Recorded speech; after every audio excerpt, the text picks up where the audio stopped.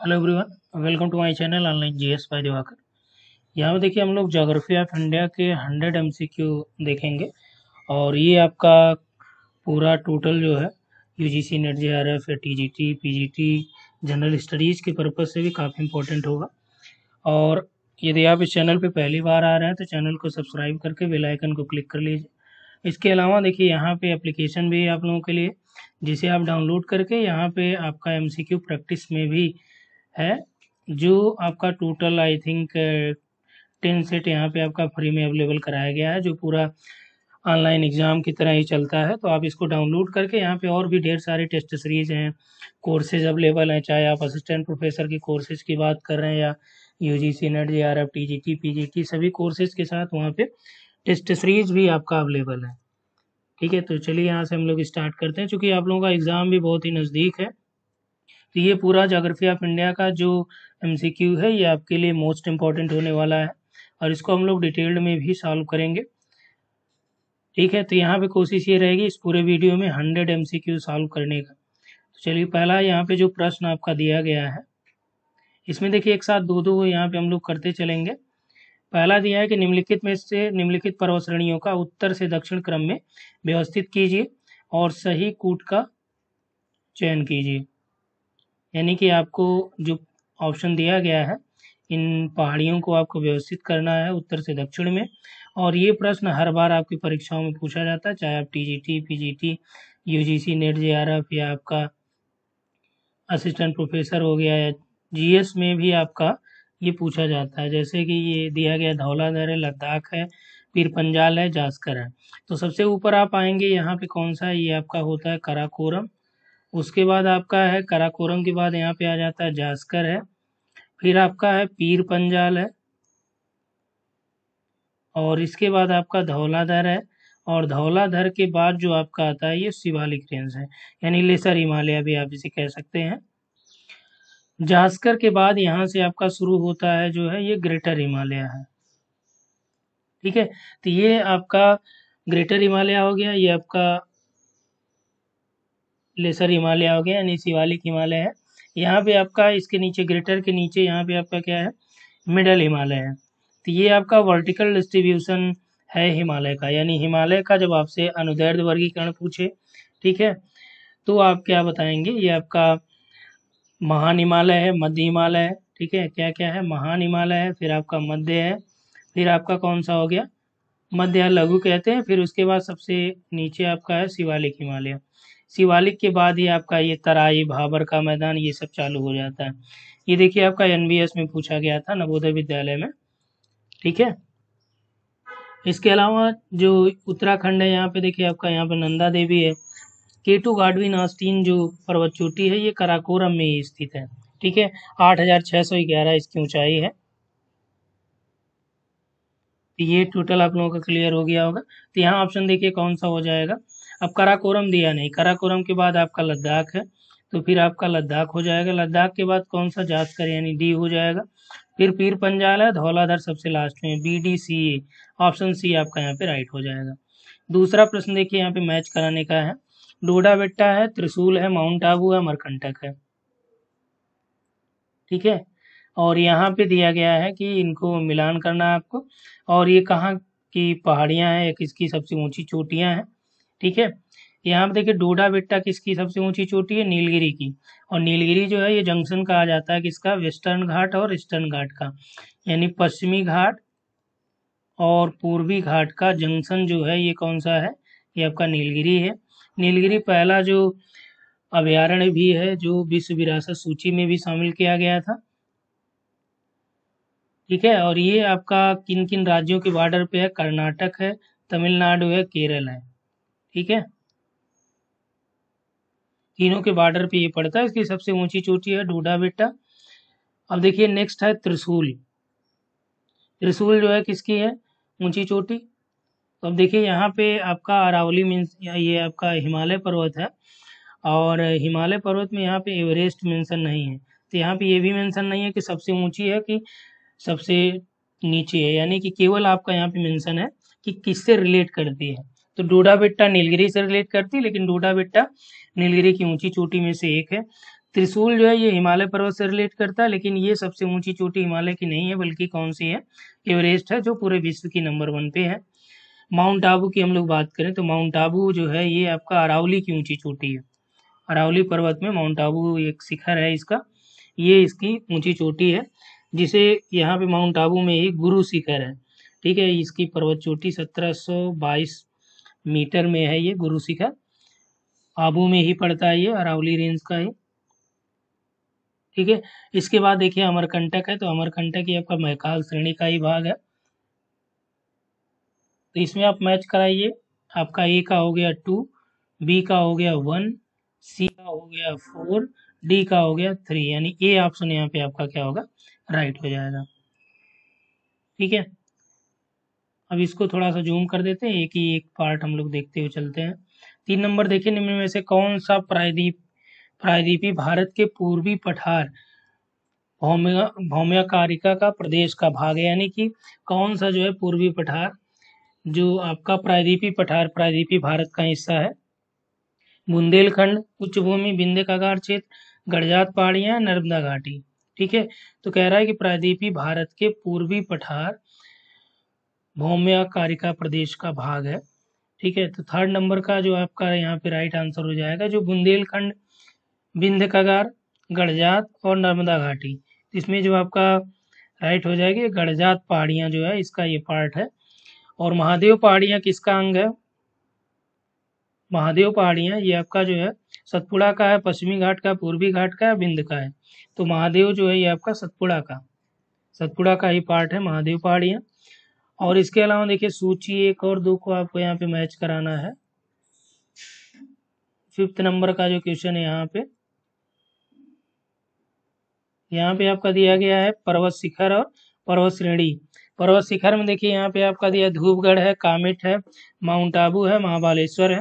पर्वत श्रेणियों में हिमालय है, महादेव पहाड़ियाँ सह्याद्री है और अरावली है, ठीक है? तो फिफ्थ नंबर में जो आपका यहाँ पे मेंशन किया गया, इसको थोड़ा सा जूम आउट कर देते हैं तो आपको और क्लियर दिखने लगेगा। ठीक? चारों ऑप्शन यहाँ पे दिख है। इसमें आपका धूपगढ़ जो दिया गया है, इसमें सी ऑप्शन ही दिख रहा है। ये फोर्थ ऑप्शन यहाँ से हम लिख लेते हैं। ठीक है? टू वन फोर थ्री यहाँ पे आपका ऐड कर देंगे फिफ्थ नंबर में लास्ट में। टू वन फोर थ्री ये डी ऑप्शन है। ठीक है? अब यहाँ से आपको आसानी होगी। धूपगढ़ जो है ये महादेव पहाड़ी और यहाँ पे आपका कॉमेट। कॉमेट जो है किसका हिस्सा है? हिमालय का, माउंट आबू आपका, ये अरावली का हो गया। महाबालेश्वर, सह्याद्री पहाड़ियों का। यानी डी का थ्री है और सी का फोर है। ठीक है? तो इसमें आपका राइट आंसर हो जाएगा डी ऑप्शन फिफ्थ नंबर में। और यहाँ पे आ जाइए सिक्स नंबर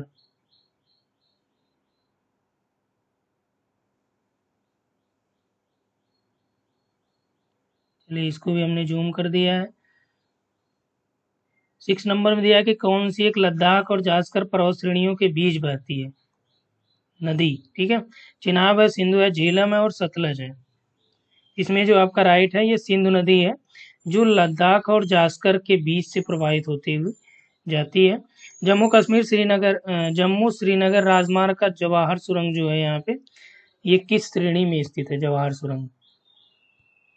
ठीक है? तो जवाहर सुरंग जो आपका है, ये पीर पंजाल श्रेणी में है। इसको थोड़ा स्पीड हम लोग देखेंगे, क्योंकि सौ प्रश्न देखना है।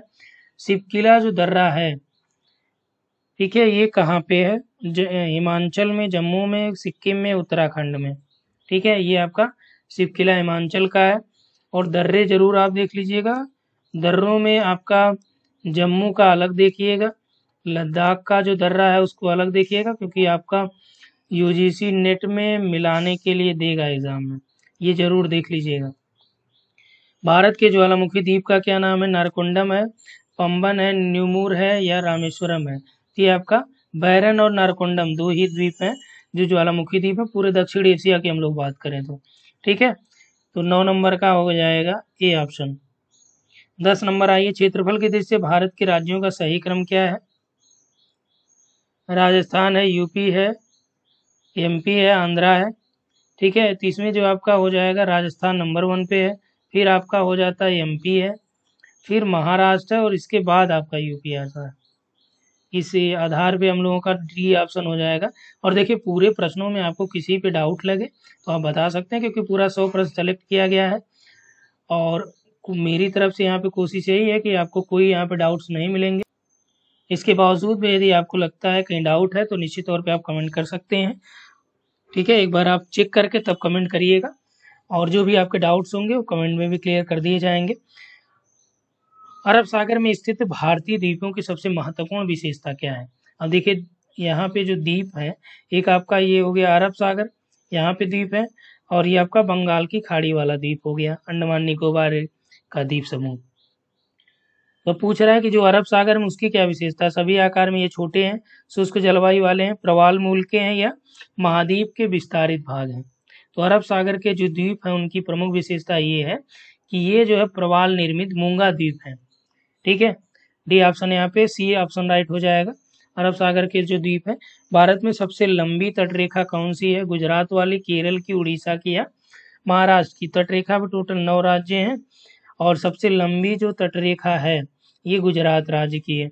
इसके अलावा यदि यहाँ पे अंडमान निकोबार होता तो वो आपका इससे ज़्यादा है। ठीक है तो ये ध्यान रखिएगा। तेरह नंबर में आ जाइए। अधोलिखित पहाड़ियाँ। भारत के विभिन्न भागों में स्थित है। नीचे दिए गए कोट से हिमालय से उनके दक्षिण की ओर दिशा में सही उत्तर चुनिए। यानी कि यहाँ पे कह रहा है कि भारत के विभिन्न भागों में ये स्थित है। हिमालय से उनके दक्षिण की ओर। यानी हिमालय आपका जो है यहाँ पे, इसे दक्षिण में आपको ये आपका चूज़ करना है। थर्टीन नंबर का जो दिया गया है। ठीक है तो इसको और जूम आउट कर देते हैं, यहाँ पे आपका चारों ऑप्शन दिख जाएगा।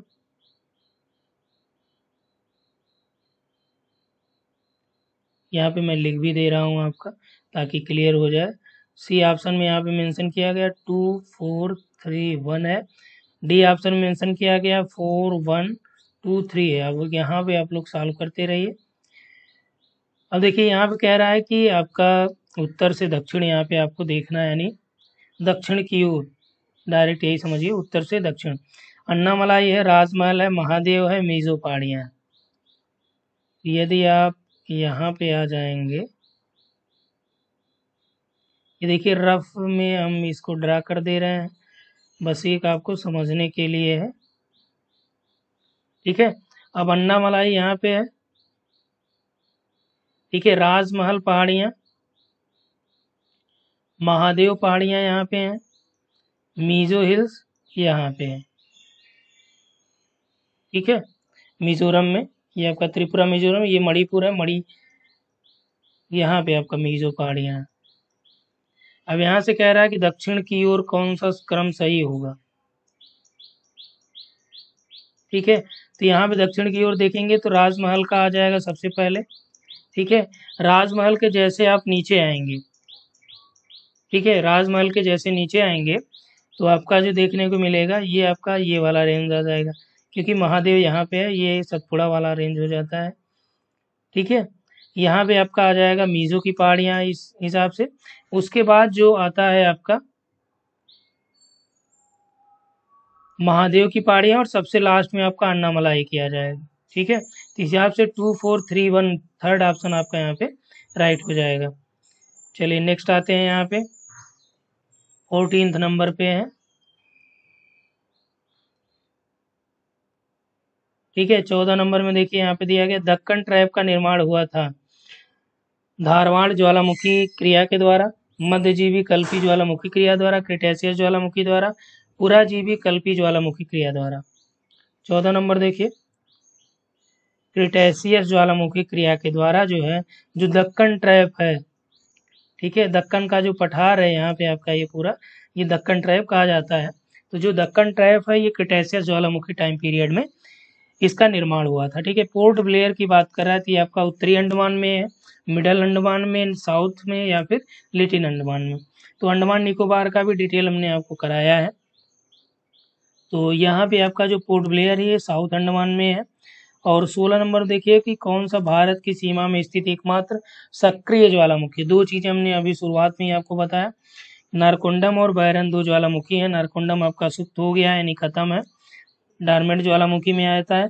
बैरन जो है ये आपका एक्टिव में आप इसको कर सकते हैं, लेकिन अभी उद्गार नहीं हुआ है इसमें। और ये टोटल जो है आपका पूरा साउथ एशिया का एकमात्र सबके ज्वालामुखी में से एक है। ठीक है?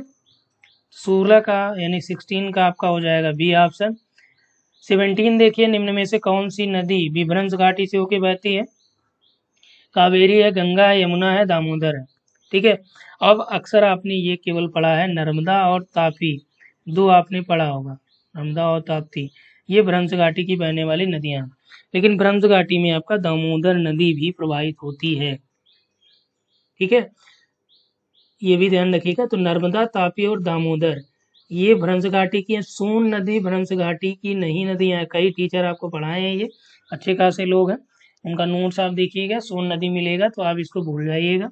सोन नदी नहीं है, दामोदर, नर्मदा और तापी, ये तीनों नदियाँ जो है यहाँ पे प्रवाहित होती हैं, ठीक है? ब्रंज घाटी में। ये ध्यान रखिएगा, इसीलिए ये ऑप्शन आपको प्रोवाइड कराए गए हैं। निम्नलिखित में से कौन सा एक में सही सुमिलित नहीं है? पीर पंजाल जो है, ये आपका लघु हिमालय में है, ये आपका राइट है। पोटवार का जो पठार है कुमाई हिमालय में नहीं है, ठीक है? केटू आपका कराकोरम के, करा करेवा जो है, ये एक प्रकार की मृदा होती है, ठीक है? जो कश्मीर घाटी में है। तो इसमें राइट आंसर आपका हो जाएगा। बी ऑप्शन कुमाई हिमालय में पोतवार पठार नहीं है। और अगला देखिए, यहाँ पे दिया गया है कि कौन सा है? एक भारत के सबसे दक्षिणी स्थान को इंगित करता है। कन्याकुमारी है, नगर कोइल है, इंदिरा पॉइंट है या रामेश्वरम है? ठीक है? तो इसमें जो 19 का राइट आंसर हो जाएगा, क्या हो जाएगा? इंदिरा पॉइंट। अब यहाँ पे यही देखिए, समझने वाली बात है। देगा भारत का सबसे दक्षिणतम। इंदिरा पॉइंट हो गया। यदि कहेगा कि भारत के मुख्य भूमिका।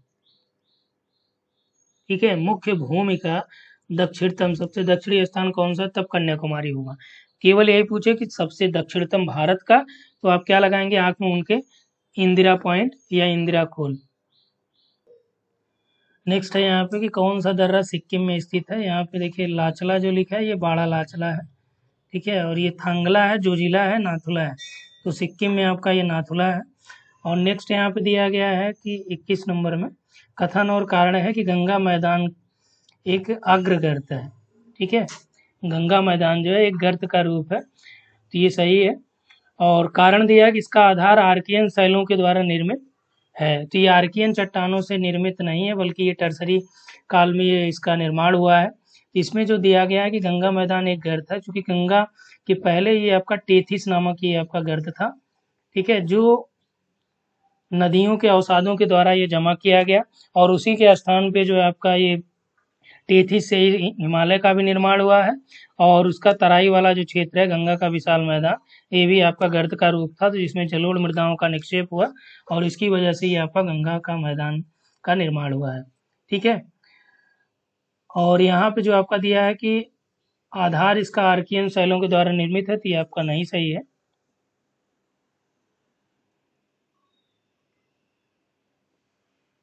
तो यहाँ पे जो ऑप्शन आपका हो जाएगा, ये आपका राइट है, ये आपका रॉन्ग है। आर गलत है। अगला देखिए, निम्नांकित में से किस राज्य की तटरेखा सबसे लंबी है? आंध्रा है, महाराष्ट्र है तमिलनाडु, गुजरात है। तो इसमें कुछ नहीं देखना है आपको। ठीक है, गुजरात है। कश्मीर घाटी एक प्रकार है किसका? विवर्तनिक घाटी का या पर्दनजन्य घाटी का रिप्ट घाटी का या अंधी घाटी का? जो कश्मीर वैली है, ये किसका एग्ज़ाम्पल है? तो ये आपका एक प्रकार से विवर्तनिक घाटी का एग्ज़ाम्पल है, ठीक है? नेक्स्ट आ जाइए ट्वेंटी फोर निम्न में से कौन लघु हिमालय का एक भाग है? ठीक है? कैलाश श्रेणी है लद्दाख है काराकोरम और महाभारत श्रेणियाँ हैं। तो लघु हिमालय यानी कि आपका जो मिडल हिमालय है। ठीक है? मिडल हिमालय का कौन सा पार्ट है? ट्वेंटी फोर में देखिए। लद्दाख श्रेणी है। लद्दाख आपका ये पार हिमालय का है, कराकोरम लद्दाख जी है। ठीक है? ये दोनों कैलाश भी आपका पार हिमालय का है। जो महाभारत श्रेणी है, ये आपका मिडल हिमालय में आ जाएगा। टेन डिग्री जो चैनल है, ये किसको अलग करता है? ठीक है, लक्षद्वीप को मिनिकाय से करता है, नहीं। नेक्स्ट यहाँ पे ऊपर आइए थर्ड सेकेंड ऑप्शन देखते हैं यहाँ पे आपका। लघु अंडमान को कार निकोबार से। तो टेन डिग्री आपका जो राइट आंसर हो जाएगा, ये लघु अंडमान को कार निकोबार से अलग करता है। और ट्वेंटी सिक्स में हम लोग देखते हैं मैच कराना है, सूची एक और, सूची दो को। बनिहाल दर्रा, रोहतांग, नाथुला और बोमडिला। नाथुला आपका सिक्किम में हो गया, ठीक है? ट्वेंटी सिक्स में देखिए। और बनिहाल आपका जम्मू कश्मीर, रोहतांग, हिमाचल में, बोमडिला, अरुणाचल में। तो एक, दो, तीन, चार, ये आपका हो जाएगा ऑप्शन। बी, यहाँ पे आपका राइट हो जाएगा। ठीक है, नेक्स्ट आ जाइए। भारत की सबसे लंबी सीमा किसकी है? चीन के साथ है, पाकिस्तान, म्यांमार या बांग्लादेश। तो सबसे लंबी सीमा आपका ये बांग्लादेश के है। हिमालय का जो अग्रभ्रंश है, ठीक है? फ्रंट फॉल्ट जो हिमालय का, हिमालय फ्रंट फॉल्ट जो है, ये किसको पृथक करता है, यानी किसको अलग करता है? महान हिमालय और लघु को, शिवालिक लघु को, शिवालिक भारत का उत्तरी मैदान, या उपरोक्त में से कोई नहीं, ठीक है? ट्वेंटी एट में देखिए। ट्वेंटी एट का जो राइट आंसर हो जाएगा, शिवालिक और उत्तर के भारत के उत्तरी मैदान को ये क्या करते हैं, अलग करते हैं, जो एच एफ़ एफ़ है। ठीक है, यानी कि हिमालय का जो फ्रंट फॉल्ट है, यानी कि अग्रभ्रंश है। अगला देखिए ट्वेंटी नाइन में भारत का उत्तरी मैदान किसकी देन है? हिमालय के उत्थान के परिणाम स्वरूप बना। हिमालय पर्वत से निकलने वाली नदियों से, दक्कन के पठार से निकलने वाली नदियों से, या इनमें से कोई नहीं। तो ट्वेंटी नाइन का जो है, ये बी ऑप्शन हो जाएगा। जो हिमालयी नदियाँ थी इनके अवक्षेपों से निर्मित ये मैदान जो है ये आपका है। ठीक है, अगला देखिए, मिसमी पहाड़ियाँ जो है किस राज्य में है? असम है, अरुणाचल, नागालैंड, जम्मू कश्मीर। ठीक है तो इसमें जो आपका राइट आंसर हो जाएगा। मिसमी, किसमी, ठीक है, ये सभी जो पहाड़ियाँ ये आपका अरुणाचल प्रदेश में है। जो नदियाँ एक ही दरार घाटी की दो विपरीत दिशाओं में प्रवाहित होती हैं। नर्मदा सोन है, चंबल व नर्मदा है, तापी व महानदी है, सोन व कोसी है। तो कह रहा है कि जो भ्रंश घाटी के जो विपरीत दिशाओं में प्रवाहित होती हैं तो वो नदियाँ कौन सी हैं? इसमें देखिए, आपका भ्रंश घाटी इधर से होके जाती है, यहाँ पे आपका, यहाँ से आपका भ्रंश घाटी में नर्मदा बहती है, ठीक है, लेकिन इसके विपरीत जो है आपके सोन रिवर बहती है। अगला देखिए, निम्नलिखित में से किस एक की ऊंचाई औसत समुद्र तल से सबसे अधिक है? पारसनाथ की पंचमढ़ी की, डोडा बेट्टा या अनाईमुडी ठीक है? तो थर्टी टू में जो राइट आंसर आपका हो जाएगा, दक्षिण की जो ऊँची चोटी है, ये अनाईमुडी है। डोडा बेट्टा से भी ऊँची है। छोटा नागपुर पठार की सबसे ऊँची चोटी कौन सी है? धूपगढ़ है, पंचमढ़ी है, पारसनाथ है, महाबालेश्वर है। ठीक है? सतपुड़ा की ऊँची चोटी जो है आप कौन सी है? ये आपका धूपगढ़ है। इसमें आपका छोटा नागपुर पठार में हो जाएगा पारसनाथ। मुंबई कोलकाता रेल मार्ग से रेल मार्ग जो है ये आपका, किस दर्रे से होकर गुजरता है, पालघाट, भोरघाट और थालघाट, ये तीनों दर्रे जो है ये आपका दक्षिण भारत के और ये पश्चिमी घाट के दर्रे हैं। ठीक है? थाल घाट थालघाट, भोरघाट, पालघाट, ये सभी जो दर्रे हैं ये पश्चिमी घाट के पास है। तो ये पूछ रहा है कि मुंबई से कोलकाता जो रेलवे लाइन जाती है, ये किस दर्रे से होके जाती है? तो ये आपका थाल घाट दर्रे से होके जाती है। अंडमान निकोबार अंडमान को निकोबार से जो अलग करने वाली जलराशि है उसका क्या नाम है? ठीक है नेक्स्ट यहाँ पे आ जाइए। अंडमान को निकोबार से जो अलग करती है, मन्नार की खाड़ी है, नहीं। अंडमान सागर है टेन डिग्री चैनल है या इलेवन डिग्री चैनल है। ठीक है तो अंडमान को निकोबार से जो अलग करती है, ये आपका टेन डिग्री चैनल है। मिनिका लक्षद्वीप का निर्माण हुआ है, ज्वालामुखी उद्गार, प्रवाल भित्ति से कटक से या इनमें से कोई नहीं। थर्टी सिक्स का जो राइट हो जाएगा, ये प्रवाल भित्ति है।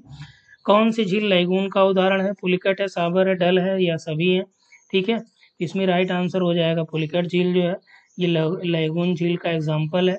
भारत की जो प्राचीनतम पर्वत श्रृंखला कौन सी? हिमालय, सतपुड़ा, अरावली। ठीक है?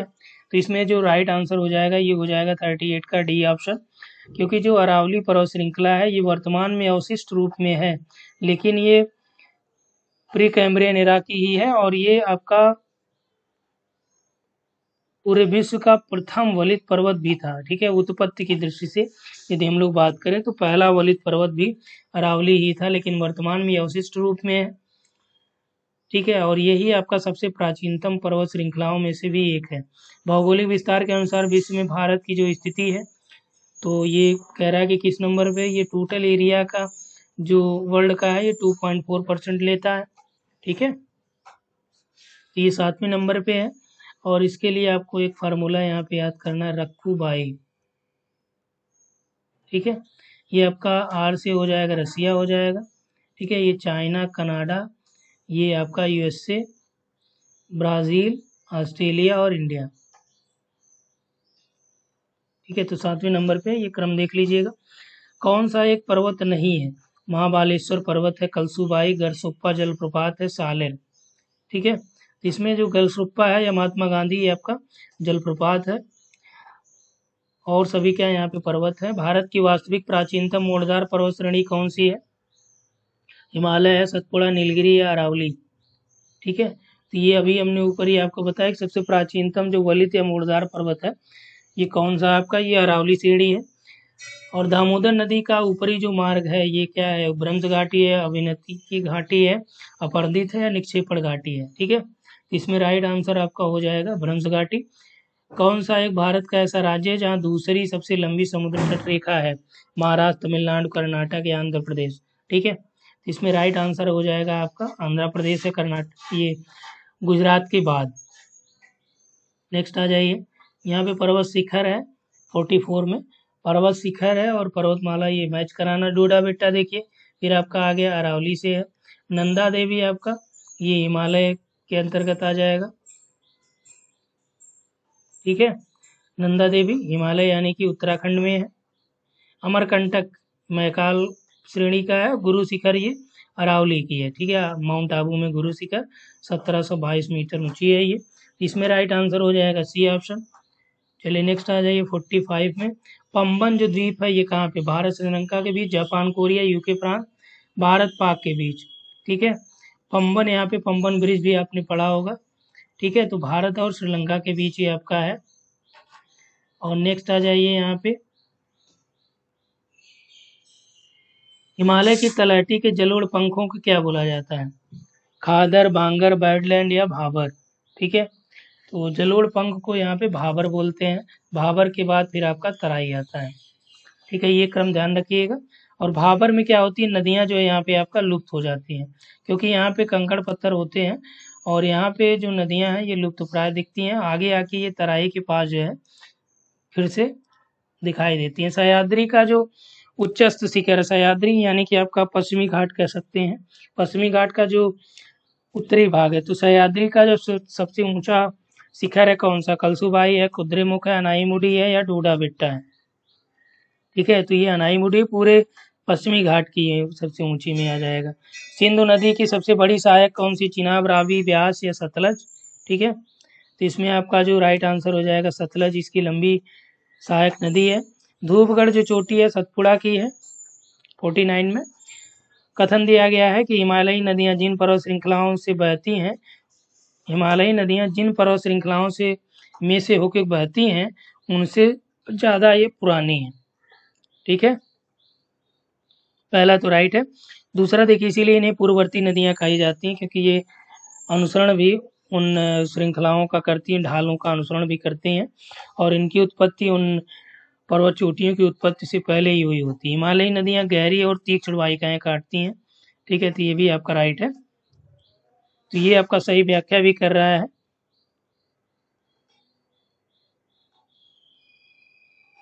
ठीक है नेक्स्ट आ जाइए फिफ्टी हो चुका। अक्ष संघीय मोड़, किस एक का अभिलक्षण है? यानी संघीय मोड़ जो है, हिमालय अरावली सतपुड़ा या विंध्य तो राइट आंसर हो जाएगा, हिमालय में ये मोड़ होते हैं।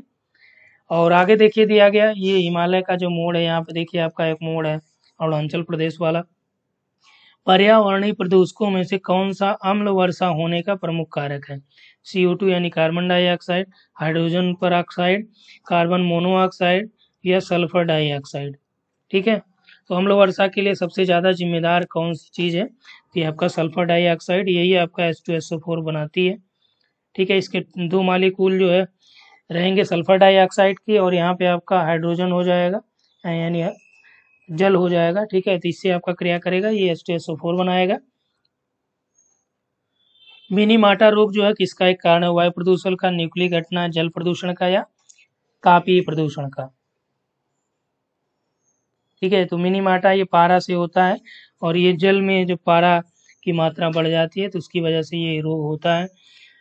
अगला देखिए लेटेराइट में लौह और एल्यूमिनियम के ऑक्साइड की अनिवार्य रूप से, यानी लेटेराइट जो मृदा है, उसमें कह रहा है कि आयरन यानी लोहा और एल्यूमिनियम के ऑक्साइड्स की मात्रा यहाँ पे होती है। फिफ्टी फोर में देखिए। ठीक है तो इसमें दोनों के ऑक्साइड की मात्रा नहीं होती है, बल्कि यहाँ पे आयरन की मात्रा कुछ होती है लेटेराइट में, इसी कारण ये थोड़ा सा लाल कलर देते हैं। आर्द्र उष्ण क्षेत्र में, जहाँ रासायनिक अपक्षण और निच्छालन अधिक होता है, वहाँ पर ज़्यादातर लेटेराइट मृदाएँ होती है राइट है। ठीक है? तो लेटेराइट मृदाओं का निर्माण जो निक्षालन की वजह से होता है, अब क्योंकि उष्ण कटिबंधीय क्षेत्रों में यहाँ पे वर्षा भी होती है और टेम्परेचर भी ज़्यादा रहता है। टेम्परेचर और वर्षा यानी रेनफॉल की वजह से क्या होता है, यहाँ पे निक्षालन की क्रियाएँ होती हैं और इसी वजह से आपका लेटेराइट मृदाओं का निर्माण होता है तो इसमें केवल बी ऑप्शन यहाँ पे आपका राइट हो जाएगा, यानी दूसरा वाला। चलिए 55 में देखिए, जीवाश्म ईंधनों की बढ़ती खपत वायुमंडल में किस गैस की मात्रा में वृद्धि के लिए उत्तरदायी है? नाइट्रोजन की वृद्धि के लिए कार्बन डाइऑक्साइड की आर्गन की या ओजोन की, ठीक है?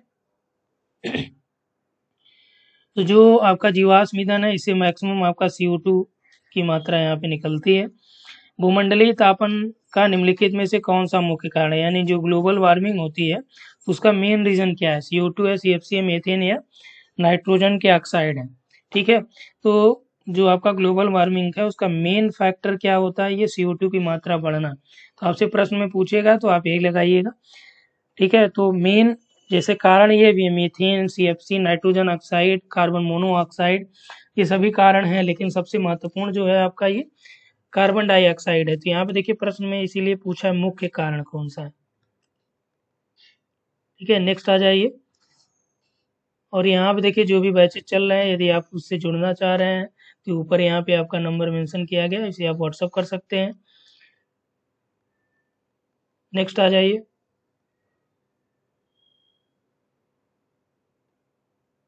फिफ्टी सेवन है लेटेराइट मृदाएँ किन जलवायु परिस्थितियों में विकसित होती हैं। आर्द्र उष्ण है, शीतोष्ण है, गर्म सूखी है, यह भूमध्य सागरीय है। तो ये आपका आर्द्र उष्ण में, क्योंकि यहाँ पे निक्षालन ज़्यादा होगा और जहाँ पे निक्षालन ज़्यादा होगा, वहाँ पे लेटेराइट मृदा होगी। निक्षालन कैसे होगा? क्योंकि यहाँ पे आपका रेनफॉल भी ठीक ठाक हो और टेम्परेचर भी ठीक ठाक हो। तो ये आपका कहाँ पे इक्वेटोरियल बेल्ट में होता है, यानी आर्द्र और उष्ण। एरिया में, ठीक है? 58 में देखिए, कौन सा गैस ओजोन परत के क्षरण हेतु सबसे ज़्यादा उत्तरदायी है? C O two C S four methane chlorine या फिर सल्फ़र डाइऑक्साइड ठीक है? तो 58 का जो राइट आंसर हो जाएगा, ये क्लोरीन सबसे ज़्यादा ओजोन क्षरण के लिए उत्तरदायी होता है। हालाँकि सी एच फोर का एक मालिकूल 1300 मालिकूल लगभग ओथ्री के बराबर होता है। यानी कि यदि सी एच फोर यानी मेथेन जो है ये ओजोन डिप्लेशन की बात करें तो यहाँ पे यदि इसका एक मालिकूल जाएगा, वो लगभग 1300 से अधिक ओजोन के मालिकूल को डिप्लेट करेगा। लेकिन मेथेन की उतनी मात्रा वायुमंडल में इसका निष्कर्षण होता नहीं है। जबकि ये कहाँ से सड़े गले स्थानों से होता है, धान के खेत हो गए या कूड़े करकट वाले जो प्लेसेस होते हैं, वहाँ से आपका मेथेन गैस मैक्सिमम उसका सिक्रीशन होता है। लेकिन सबसे ज़्यादा जो प्रभावशाली होती है ये क्लोरीन क्लोरीन में आपका जैसे क्लोरोफ्लोरोकार्बन हो गया, यानी जो हाइलोजन वर्ग के तत्व हैं, चाहे हाइलोजन में आपका क्लोरीन फ्लोरीन आयोडीन ठीक है? तो मैक्सिमम आपका जो यहाँ पे मुख्य रूप से उत्तरदायी है सबसे ज़्यादा ये आपका क्लोरीन है। ठीक है? तो ये आप ध्यान रखिएगा। एग्ज़ाम में आपका ऐसे पूछेगा, उत्तरदायी तो कार्बन डाइऑक्साइड भी है मीथेन भी है सल्फ़र डाइऑक्साइड भी है। लेकिन सबसे ज़्यादा पूछ रहा है तो आपका क्लोरीन हो जाएगा। उन्नीस में जो केटो प्रोटोकॉल पारित किया गया, ठीक है? इसका मेन जो उद्देश्य किसके रोकथाम के लिए था? ओजोन डिप्लेशन का, मरुस्थलीकरण का, निर्वनीकरण का या ग्लोबल वार्मिंग का? ठीक है तो केटो प्रोटोकॉल जो हुआ, ये आपका ओजोन क्षण डिप्लेशन यानी ओजोन डिप्लेशन के लिए बेसिकली इसका यूज़ किया गया था। या फिर मरुस्थलीकरण के लिए किया गया था या निर्वनीकरण के लिए किया कि ग्लोबल वार्मिंग के लिए? तो इसमें देखिए ओ थ्री की बात जो हुआ था, ये मोन्ट्रियल प्रोटोकॉल में हुआ था। ठीक है? ओजोन क्षण की जो बात हुई थी मॉन्ट्रियल प्रोटोकॉल जो आपका कनाडा में हुआ था, वहाँ पे बात हुई थी। क्योटो प्रोटोकॉल की जो, इसमें बात मेन रूप से, मुख्य रूप से जो रखी गई कि आपका ग्लोबल वार्मिंग की थी। ठीक है? भूमंडलीय उष्मन को कम करने की बात कही गई थी। इसमें राइट आंसर डी हो जाएगा। यदि ये ऑप्शन में नहीं रहता तो एक हद तक आप ओजोन डिप्लेशन को कह सकते थे, क्योंकि जो ग्लोबल वार्मिंग के एलिमेंट्स थे, जिसको कम करने से वो आपका ओजोन डिप्लेशन भी उससे कम होगा। सिक्सटी नंबर में है निम्नांकित में से किसमें एजेंडा ट्वेंटी वन पारित हुआ? प्रथम पृथ्वी शिखर सम्मेलन में, यानी फ़र्स्ट अर्थ समिट में, या सस्टेनेबल जो डेवलपमेंट का सम्मेलन हुआ था, या मॉन्ट्रिकाल मॉन्ट्रियल प्रोटोकॉल या क्योटो प्रोटोकॉल में। ठीक है? तो इसमें जो आपका प्रथम पृथ्वी सम्मेलन हुआ था, वहाँ पे आपका एजेंडा ट्वेंटी वन की बात की गई थी, जो आपका सतत विकास से रिलेट करता है। सिक्सटी वन में देखिए, निम्नांकित में से कौन भूमंडलीय उष्मन में योगदान नहीं करता है? नाइट्रोजन के ऑक्साइड है, मेथेन है, कार्बन डाइऑक्साइड है, या सल्फ़र डाइऑक्साइड है, ठीक है? तो जो सिक्सटी वन में आपका यहाँ पे राइट आंसर हो जाएगा, ये हो जाएगा सल्फ़र डाइऑक्साइड जो है, ये आपका ग्लोबल वार्मिंग में उतना महत्वपूर्ण योगदान नहीं देते हैं। ठीक है? कौन सा?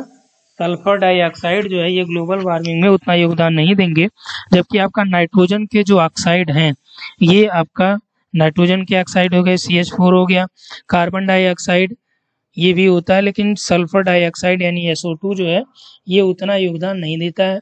अगला देखिए, एबोनी और महोगनी। ये देखिए, एग्ज़ाम में आपसे पूछा जाता है जो वृक्ष हैं, यानी किस जलवायु के ये वृक्ष हैं, ये आपसे परीक्षाओं में पूछा जाता है। और यहाँ से एक प्रश्न आपका हर एग्ज़ाम में आता है, चाहे आप असिस्टेंट प्रोफेसर की बात करें यूजीसी नेट टीजीटी पीजीटी में तो एक प्रश्न आपका ये श्योर रहता है कि कई बार आपसे यहाँ पे पूछा टीक का, जो सागौन का वृक्ष है, ठीक है? इसके बारे में पूछता है, ये किस प्रकार की जलवायु का वृक्ष है? तो ये मोनी और महोगनी, ये भी पूछा गया है। किस जलवायु का वृक्ष है या किस वनों के वृक्ष हैं कोड़धारी के हैं, पतझड़ के हैं, उष्ण कटबंधी मानसून के हैं या उष्ण कटिबंधी सदाबहार वनों के हैं, ठीक है? तो ये किसके हैं? ये आपके उष्ण कटिबंधी सदाबहार वनों के ये वृक्ष हैं। और अगला देखिए सिक्सटी थ्री में है कि निम्नलिखित में से कौन सा मृदा अपर्दन की प्रक्रिया को तीव्र करता है? समोच्च रेखी में ठीक है? सस्य आवर्तन, मिश्रित कृषि या ढलान कृषि। कह रहा है कि जो मृदा अपर्दन है, ये कहाँ पे मैक्सिमम होगा? ठीक है किसमें सबसे तेज होगा? सिक्सटी थ्री में देखिए। इसमें आपका जो दिया गया है, समोच्च रेखा रहेगी। तो समोच्च यानी कि आपका जो सीढ़ीदार कृषि होती है। तो इससे क्या होगा कि इससे आपका जो मृदा अपर्दन है, वो कम होगा। ठीक है, क्योंकि यहाँ पे सीढ़ीदार जो कृषियाँ आप देखते हैं पहाड़ों पे तो यहाँ पे मेड़े बना दी जाती हैं ऊँची ऊँची ठीक है तो जो मृदा अपर्दन होगा, ये आके यहीं पे ही आपका क्या होता है, रुक जाता है मिट्टी। सस्य आवर्तन यानी कि जो फ़सल में बदलाव है। क्रॉप रोटेशन आप कह सकते हैं। तो ये भी आपका मृदा अपर्दन की प्रक्रिया को कम करता है। मिश्रित कृषि भी कम करती है और ढलान जो कृषि है, ढलुआ कृषि, ढालों पे आप कृषि करेंगे तो इससे क्या होगा? मृदा अपर्दन होगा। ठीक है तो डी ऑप्शन यहाँ पे राइट हो जाएगा। काप मिट्टी कहाँ पे पाई जाती है? नदी घाटियों में, समुद्र तटों पे, पहाड़ी ढालों पे या फिर रेगिस्तान में। ठीक है तो यहाँ पे आपका नदी घाटियों में जो कॉप मृदाएँ हैं, कॉप मिट्टी है, ये नदी घाटियों में पाई जाएगी। और नेक्स्ट यहाँ पे देखिए सिक्सटी फाइव अभी टोटल आपका थर्टी फाइव और बचा है। तो सिक्सटी फाइव में देखिए पर्यावरण प्रदूषण के निम्नांकित प्रभाव है। पर्यावरण प्रदूषण से क्या प्रभाव हो सकते हैं? धरातल पर पहुँचने वाले सूर्य के प्रकाश की मात्रा को ये कम करता है। ठीक है? तो ये आपका राइट होगा, क्योंकि पर्यावरण प्रदूषण से क्या होगा? वायुमंडल में विभिन्न प्रकार की गैसें फैलेंगी, और जो आपका यहाँ पे सनलाइट जो है आएगी, उसको ये गैसें क्या करेंगी? एब्जॉर्ब करेंगी। और इसकी वजह से क्या होगा? धरातल पर जो सूर्य का प्रकाश पहुँच रहा है, इसकी मात्रा भी जो है घटेगी। आगे देखिए, कोहरे में वृद्धि होगी, ये भी आपका राइट है। वातावरण के तापीय गुणों को परिवर्तित कर देती है, ये भी आपका राइट है। ठीक है, इसमें आपका फोर्थ ऑप्शन सही हो जाएगा।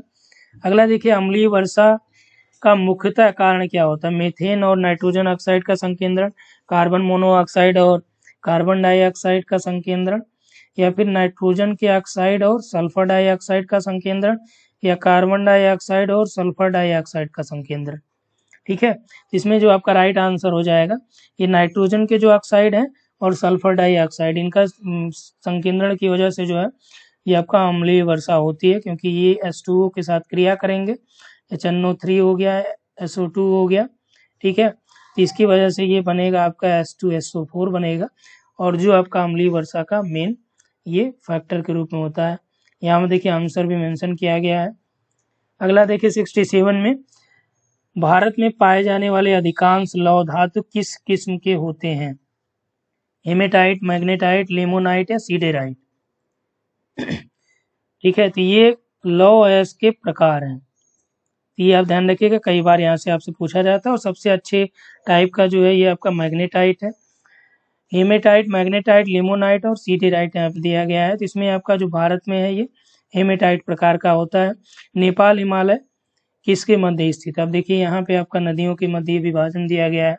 अब ये इसे हम लोग कहते हैं हिमालय का प्रादेशिक विभाजन या हॉरिजेंटल डिस्ट्रीब्यूशन ऑफ़ हिमालय ठीक है? तो यहाँ से आपका जो वर्गीकरण होता है यदि हम लोग यहाँ पे मैप की बात करें। यहाँ पे आपका देखिए, ये आपका सिंधु हो गया, सतलज हो गया, ठीक है? और यहाँ पे आपका तीस्ता नदी हो गई और ये काली नदी हो गई, ठीक है? यहाँ पे तीस्ता है, सिक्किम के पास। ठीक है, तीसरा यहाँ पे आपका जो है ब्रह्मपुत्र या देहांग दिबांग होगा। इसे आपका ये असम हिमालय हो जाएगा, यहाँ पे आपका ये नेपाल हिमालय हो जाएगा, ये आपका हुमायूं हिमालय या उत्तराखंड हिमालय इसमें आ जाएगा, ये आपका जो है पंजाब हिमालय या कश्मीर हिमालय हो जाएगा। ठीक है, ये सत सिंध और सतलज के बीच, इधर आपका जो है सतलज और काली हो जाएगी, काली और तीस्ता हो जाएगी। तो यहाँ पे देखिए, नेपाल हिमालय जो किनके बीच है, काली और तीस्ता के बीच है। ऑप्शन यहाँ पे आपका देखिए। थर्ड नंबर का ही आपका सही हो जाएगा सी। ठीक है? सिक्सटी नाइन देखिए, कौन सा तट भारत के पश्चिमी तट का भाग नहीं है? काठियावाड़ है, कोंकण है, मालाबार है या कोरोमंडल है? ठीक है तो यहाँ पे देखिए, पश्चिमी तटों की हम लोग बात कर रहे हैं तो यहाँ पे काठियावाड़ का जो तट है, ये गुजरात का हो गया। कोंकण तट यहाँ पे आपका हो गया, कोंकण या कन्नड़ तट हो गया। ठीक है? कन्नड़, कनारा, कनारी इसे बोला जाता है। और ये मालाबार जो तट है, ये केरल का हो गया। इसमें जो डी ऑप्शन दिया गया, कोरोमंडल। नेक्स्ट यहाँ पे देखिए, ये आपका कोरोमंडल जो तट है, ये तमिलनाडु वाला हो गया। ठीक है? इसके ऊपर यहाँ पे आपका जो है, ये उत्तरी सरकार है। उत्तरी सरकार को भी कई पार्ट में डिवाइड किया जाता है। यहाँ पे आपका उड़ीसा के पास इसे उत्कल तट कहते हैं। और यहाँ पे बंगाल में आपका बंग तट के नाम से जाना जाता है। ठीक? और तमिलनाडु में ये आपका कोरोमंडल है। नेक्स्ट आ जाइए सेवेंटी नंबर में। दिया है कि निम्नलिखित में से कौन सा लौ इस्पात उद्योग हिंदुस्तान स्टील लिमिटेड से शासित नहीं है? ठीक है? दिया है कि दुर्गापुर, राउरकेला, कुल्टी, भिलाई। ठीक है? इसका जो राइट आंसर हो जाएगा, ये कुल्टी जो है, ये आपका हिंदुस्तान स्टील लिमिटेड से रिलेट नहीं करता, जबकि दुर्गापुर राउरकेला और भिलाई, ये लौ इस्पात उद्योग जो है ये हिंदुस्तान स्टील लिमिटेड से रिलेट करते हैं। अगला देखिए, ह्यूमन डेवलपमेंट इंडेक्स से है, और ये आपका 2020 का इसमें दिया गया। ये देखिए पीजीटी का प्रश्न था यूपी पीजीटी का। इसमें दिया है कि मानव विकास रिपोर्ट 2020 के अनुसार भारत के, भारत का जो प्लेस है वो कौन सा प्लेस है? अब देखिए 2020 का जो रिपोर्ट था, इसका जो इंडिया का प्लेस था 130 था। लेकिन पीजीटी में आपका जो सही आंसर दिया था 131 दिया था। ठीक है? और अभी जो आपका 2022 का डाटा है, इसके अकॉर्डिंग जो है 132 है। और ये देखिए, यहाँ पे हमने मेंशन कर दिया है ये डाटा रिलीज़ हुआ 10 मई 2023 को। ठीक है? यानी कि जो ये आपका दो प्लेस जो है, ये आपका नीचे आ चुका है। कौन सा वर्ष अंतर्राष्ट्रीय जैव विविधता वर्ष घोषित किया गया था? 2002, 2010, 2016, उन्नीस ठीक है? तो ये आपका 2010 को जो है अंतर्राष्ट्रीय जैव विविधता वर्ष घोषित किया गया था। अगला देखिए मानव गतिविधियों को प्रत्यक्ष या अप्रत्यक्ष आलंबन प्रदान करने में उत्पन्न ग्रीन हाउस गैस की कुल मात्रा को क्या बोला जाता है? मानव गतिविधियों को प्रत्यक्ष या अप्रत्यक्ष आलंबन प्रदान करने में जो ग्रीन हाउस गैसों की कुल मात्रा होती है, उसे क्या बोला जाता है? कार्बन फुटप्रिंट्स कार्बन पृथककरण कार्बन अवशोषण या कार्बन डाइऑक्साइड का इंडेक्स ठीक है तो कार्बन फुटप्रिंट्स इसे कहा जाता है, जो डायरेक्ट या इनडायरेक्ट रूप से जो है मानव गतिविधियों को प्रभावित करते हैं। इसमें आपका कुल ग्रीन हाउस गैसों की मात्रा होती है, ठीक है? और ये आपका कार्बन जो क्रेडिट होता है, ठीक है, जो ग्रीन हाउस गैस उत्सर्जन कम करने वाले राज्य हैं, जैसे आपका हिमाचल हो गया तो जो ज़्यादा उत्सर्जन करने वाले राज्य हैं, ठीक है तो उनमें यदि ये कार्बन व्यापार भी जो होता है, उसमें भी आपका ये चीज़ें होती हैं कि जब ये उनके क्रेडिट्स को खरीद लेते हैं तो ये कार्बन व्यापार के अंतर्गत भी आते हैं। तो ये आप इसको ध्यान रखिएगा। अगला देखिए सेवेंटी फोर में निम्नलिखित में से कौन सी पर्वतीय चोटी पूर्वी घाट में अवस्थित है? ठीक है, पश्चिमी घाट और पूर्वी घाट की जो चोटियाँ इसमें देखिए आपका कह रहा है कौन सा स्थित नहीं है। सालेर है, सिंकराम है, सिंकराम गट्टा माधुगुला कोंडा या गली कोंडा। ठीक है? तो ये सालेर जो है, ये आपका पूर्वी घाट में अवस्थित नहीं है, ये सभी आपका है। और इसमें काफ़ी चोटियों के नाम आप पहली बार सुन रहे होंगे। कह रहा है कि कौन सा सुमेलित नहीं है? स्थानांतरण कृषि का नाम दिया गया और राज्य का नाम। ये ध्यान रखिएगा और इसमें वर्ल्ड लेवल के भी डाटा आप देख लीजिएगा। जो भी इसमें चाहे लदांग की बात करें या पिन्ना की बात करें, ठीक है? जो अन्य कृषियों के प्रकार हैं, उसको ज़रूर आप देख लीजिए, क्योंकि एग्ज़ाम के पॉइंट ऑफ़ व्यू से आपका मोस्ट इंपॉर्टेंट वो है। स्थानांतरण कृषियों के अलग अलग जगह अलग अलग जो प्रकार हैं, चाहे मैक्सिको में हो गया, ठीक है? ब्राज़ील में जिसे रूखा कहा जाता है यहाँ पे देखिए दिया गया स्थानांतरण कृषि का नाम और राज्य। मासा है, पूनम है, झूम है, पोंडू है। तो इसमें दिया है कि सुमेलित नहीं है। पूनम जो है केरल का राइट है, ये झूम असम में है, पोंडू उड़ीसा का। मासा जो है ये आपका हिमाचल प्रदेश की स्थानांतरण कृषि का नाम नहीं है। यही आपका सुमेलित नहीं है। अगला देखिए सेवेंटी सिक्स में दिया गया है, ये आपका सुमेलित करना है। संरक्षित वर्ष और उनका क्षेत्र। ठीक है? सामुदायिक रिज़र्व कंजर्वेशन रिज़र्व राष्ट्रीय पार्क और वन्यजीव अभ्यारण्य। ठीक है, ये नंबर दिया गया और संख्या ये वर्ष 2021 का है। अब देखिए, इसमें हमने आपको एक पीडीएफ प्रोवाइड कराया है, जो इन्वायरमेंट जोग्राफी का यानी पर्यावरण भूगोल का हमने दो पार्ट आपको दिखाए हैं, जिसमें पूरा ये 2021 का लेटेस्ट डेटा जो आया है, उसमें वो पूरा अपडेट करके दिखाया गया है। तो टोटल जो कम्युनिटी रिज़र्व है कंजर्वेशन रिज़र्व है नेशनल पार्क्स हैं, जो आपका वाइल्ड लाइफ सेंचुरीज हैं, उसके बारे में यहाँ पे मेंशन किया गया। उनकी संख्या कितनी है? 2021 के अकॉर्डिंग ठीक? इसमें देखिए, सामुदायिक रिज़र्व टोटल जो है 46 है। कंजर्वेशन रिज़र्व की हम लोग बात करें 76 है।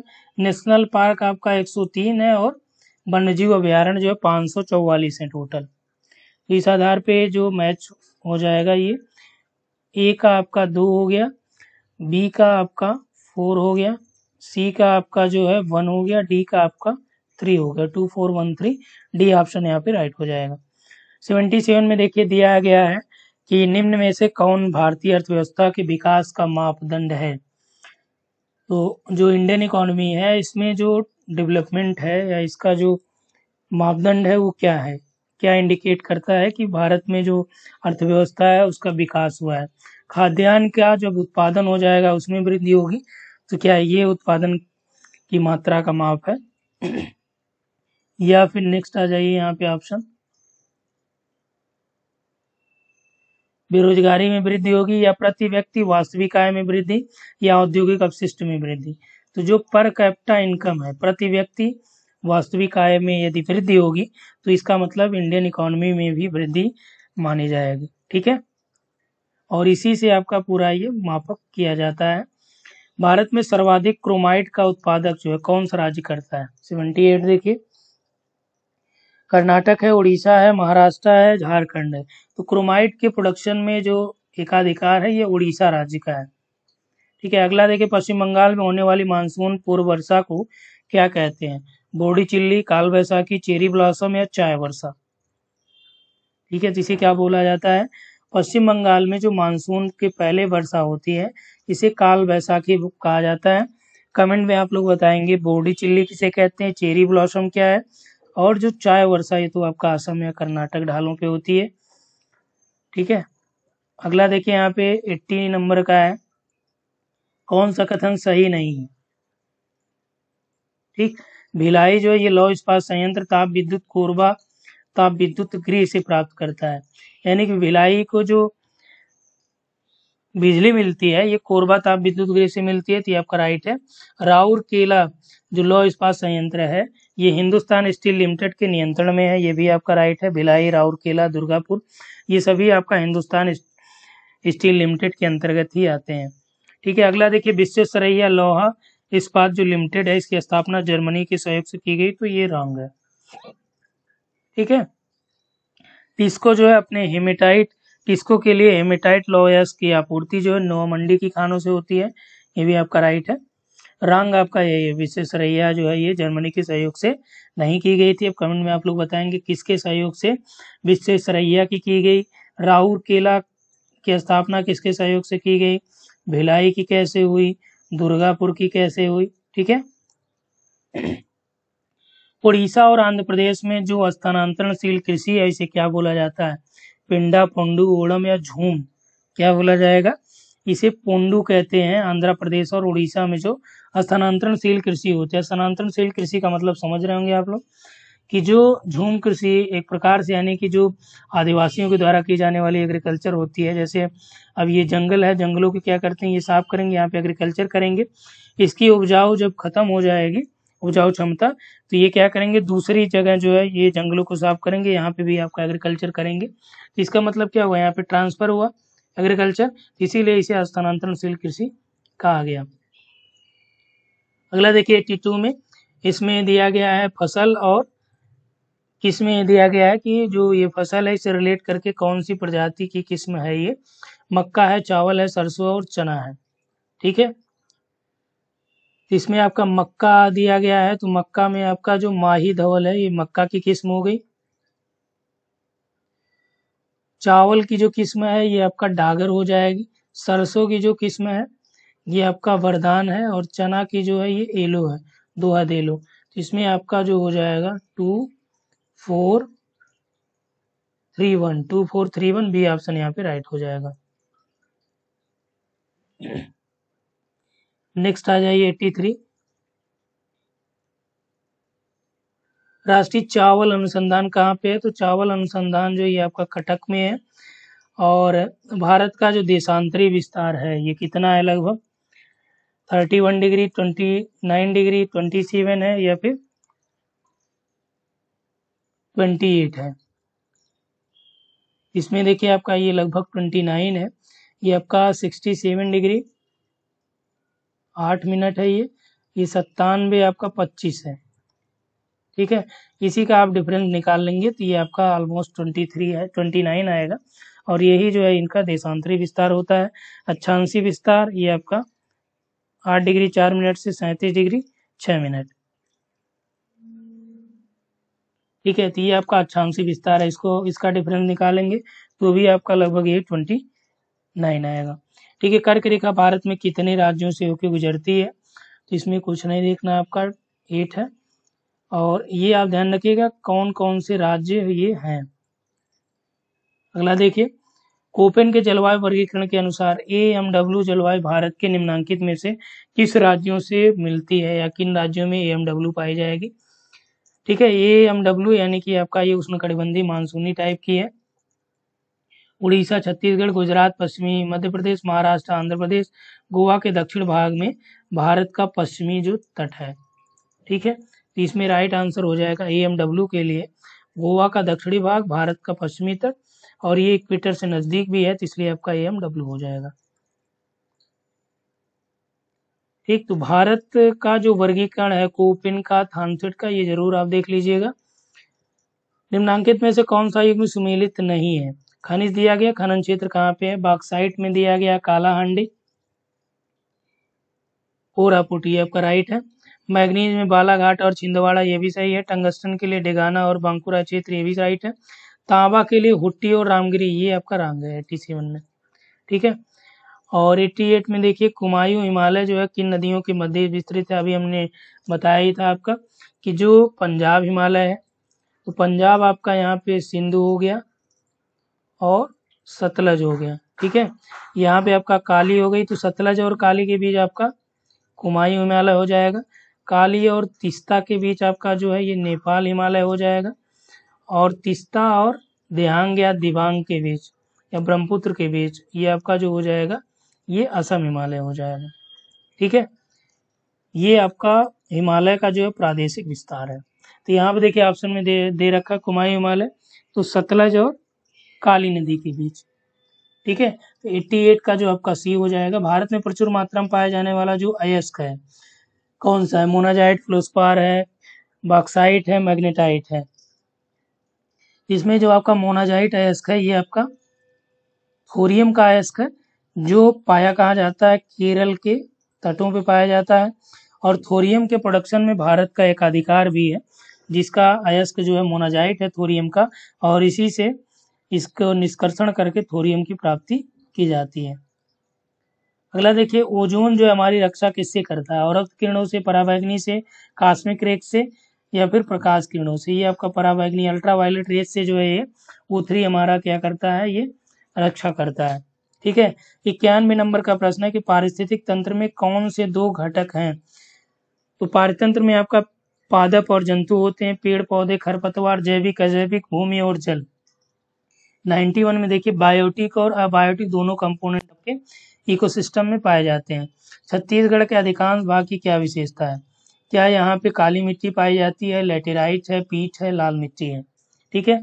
तो इसमें सबसे ज़्यादा जो छत्तीसगढ़ में अधिकांश भागों में आपका रेड सॉइल पाई जाती है और ये रेड्स इसलिए होती है क्योंकि इसमें आयरन के ऑक्साइड्स की अधिकता होती है। अगला देखिए रांची पठार किसका उदाहरण है? ये पेनी प्लेन का है या अपलिफ्टेड पेनी प्लेन का है या डाउन वर्ड पेनी प्लेन का है या प्रारंभिक पेनी प्लेन का है। ठीक है? पेनी प्लेन पैन प्लेन और पेडी प्लेन पैन प्लेन की जो संकल्पना थी, ये किसकी है? ये क्रिकमे की है। पेनी प्लेन ये आपका डेविस का है। ठीक है? और पेडी प्लेन किसका है? ये आपका एलसी किंग का है। ये ध्यान रखिएगा। और पैन फ़ैन जो है, ये आपका लासन का है। ठीक? तो यहाँ पे आपका ये पेनी प्लेन के टाइप्स हैं, ठीक है? संप्राय मैदान के ये प्रकार हैं और रांची का जो पठार है, ये किस प्रकार के संप्राय मैदान का या पेनी प्लेन का उदाहरण है? तो ये आपका राइट आंसर हो जाएगा अपलिफ्टेड पेनी प्लेन का ये एग्ज़ाम्पल है, ठीक है? उत्तित पेनी प्लेन। अगला देखिए 94 भारत में अधिकतम जो दस की वृद्धि, दस की जनसंख्या वृद्धि दर रही है, ये किस दशक में सबसे ज़्यादा दस की वृद्धि दर रही? इकसठ से इकहत्तर इकहत्तर से इक्यासी इक्यासी से इक्यानवे या इक्यानवे से 2001 में।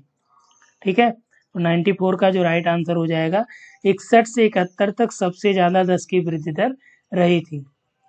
2011 की जनगणना के अनुसार, भारत का न्यूनतम जो नगरीकृत राज्य है वो कौन सा है? असम, बिहार, हिमाचल और सिक्किम। ठीक है? तो राइट आंसर यहाँ पे आपका हो जाएगा, हिमाचल प्रदेश सबसे मिनिमम न्यूनतम नगरीकृत है। 96 में देखिए, कौन सा कथन सही नहीं है? तीस्ता नदी जो है, ये गंगा की सहायक नदी है। उकाई जो बाँध परियोजना है, ये तापी नदी पे, ये आपका राइट है। दून जो है, ये लंबी पर्वत घाटियाँ हैं, ये सही है। कोरोमंडल मैदान मालावर मालाबार तटी मैदान से अधिक चौड़ा, ये भी सही है आपका, मालाबार से अधिक चौड़ा है। क्योंकि पूर्वी जो घाट है, ये भी आप समझ सकते हैं, पश्चिमी घाट से ज़्यादा चौड़ा मैदान है। ठीक? तो यहाँ पे जो तीस्ता नदी है, वो गंगा की सहायक नदी नहीं है। ठीक है तो 96 आपका ये हो जाएगा। तो ब्रह्मपुत्र की ये हो जाएगी आगे, देखिए 97 में भारतीय चाय का नीलामी मूल्य तथा निर्यात 2000 से घट रहे हैं। सन 2000 से जो चाय का नीलामी किया जाता है, निर्यात किया जाता है, ये क्या है? इसमें कमी होती आ रही है। तो ये आपका राइट है। देखिए, दूसरा दिया है कारण कि भारत को बहुत से नए चाय उत्पादक देशों की प्रतिस्पर्धा का सामना करना पड़ रहा है और इसीलिए जो है चाय का नीलामी मूल्य और निर्यात भी कम होता जा रहा है। ठीक है? तो ए और आर इसमें दोनों सही है और आर ए की व्याख्या भी यहाँ पे कर रहा है। देखिए, इसी के कारण ये घट रहे हैं। यदि प्रतिस्पर्धा नहीं होती तो क्या होता? भारत के जो चाय की कीमत थी, वो बढ़ती रहती है और पिछले कई वर्षों पहले आप देखेंगे तो ब्रिटेन में जो भारत की दार्जिलिंग टी थी, इसका मूल्य लगभग डेढ़ लाख रुपए किलो था। ठीक? नेक्स्ट यहाँ पे देखिए 98 निम्नलिखित पत्तनों में से किसके पास प्राकृतिक पोताश्रय नहीं है? ठीक है? नेचुरल पोर्ट जो है किसमें नहीं है? या नेचुरल पोर्ट कौन सा नहीं है? मुंबई है, कोच्चि है, चेन्नई है, पारादीप है। ठीक है? तो यहाँ पे आपका जो चेन्नई पोर्ट है, ये नेचुरल नहीं है, बल्कि कृत्रिम है। कोच्चि पारादीप और मुंबई, ये नेचुरल में आता है। 99 में देखिए, भारत में उष्ण कटिबंधी जो भारत है, ये आपका उष्ण कटिबंधी जलवायु वाले एरिया में ही आता है तो ये आपका राइट है। ठीक है? कथन सही है ये। भारत जो अयन रेखाओं के मध्य है, नहीं, अयन रेखाओं के मध्य ये आपका नहीं है। तो इसमें आपका आर रॉन्ग हो जाएगा, ये राइट है। सी ऑप्शन यहाँ पे राइट हो जाएगा। और इस पूरे वीडियो का लास्ट प्रश्न देखिए यहाँ पे। सौ नंबर में, निम्नलिखित में से कौन सा युग्म सुमेलित है? मध्य प्रदेश, ये जनजातियों का दिया गया है, टूडा जनजाति है। ठीक है तो टूडा आपका नीलगिरी में पाई जाती है, राजस्थान में खरवाड़ नहीं पाई जाती है। इसमें दिया गया तमिलनाडु में भील जनजाति पाई जाती है, नहीं, एमपी में मैक्सिमम आई है झारखंड में भी पाई जाती है। उड़ान जो जनजाति है झारखंड में, ये आपका राइट है। ठीक है तो टोटल सौ प्रश्नों को हम लोगों ने देख लिया है। इसके अलावा देखिए, यहाँ पे इसका पूरा पीडीएफ आप लोगों को प्रोवाइड करा दिया गया है। यहाँ पे आंसर की भी हमने सेलेक्ट कर दी है पूरा। पूरा सौ प्रश्नों का यहाँ पे आंसर की भी है, जो आपको पूरा पीडीएफ में प्रोवाइड कराया गया है।